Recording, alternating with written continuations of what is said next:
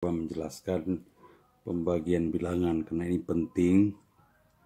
Apalagi nanti belajar uh, persamaan ya.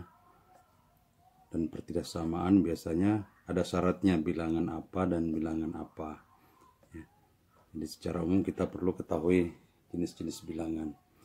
Jadi bilangan ini dibagi atas dua secara umum. Jadi bilangan uh, real ya bilangan real dan bilangan tidak real.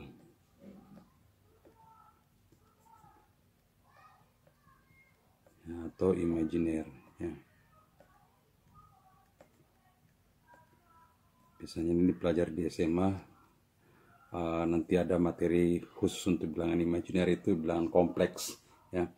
Kemudian bilangan real ini kita bagi lagi menjadi dua kelompok besar rasional ya. Dan bilangan irasional ya.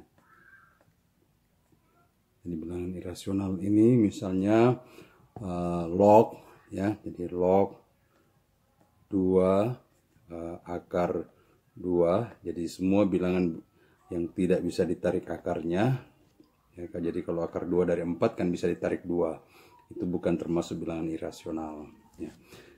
kemudian bilangan rasional ini kita bagi lagi menjadi bilangan uh, bulat ya.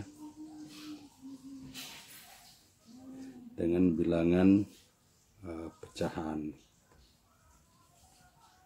Nah di sinilah terbagi-bagi lagi ya. Bilangan bulat ini macam-macam sudah ya.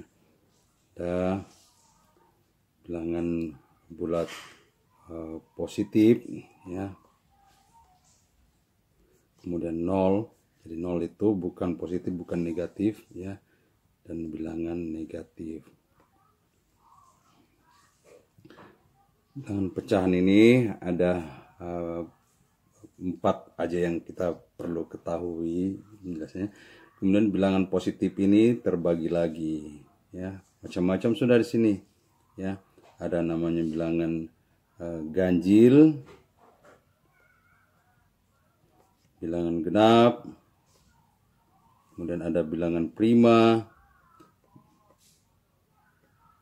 ada lagi bilangan komposit, ya.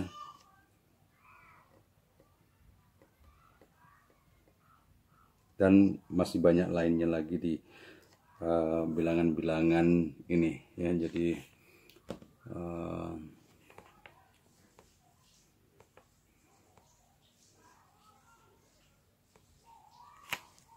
ya, jadi ada bilangan kuadrat ya. Nah ini biasanya ketika ada soal persamaan ya persamaan linier atau persamaan linier itu akan dijelaskan syaratnya bilangan apa syaratnya. Kalau tidak memenuhi dengan syarat itu maka kita tidak bisa mengambil himpunan penyelesaian seperti itu. Ya. Jadi inilah secara umum bentuk-bentuk bilangan. Jadi ingat bilangan bulat umumnya kita di SD bilang, belajar bilangan ini aja dulu.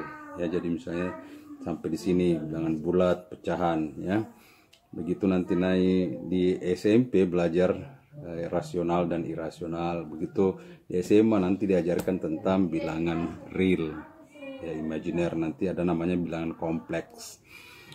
Jadi uh, kita perlu paham ini karena nanti akan banyak kita pakai sebagai syarat suatu persamaan.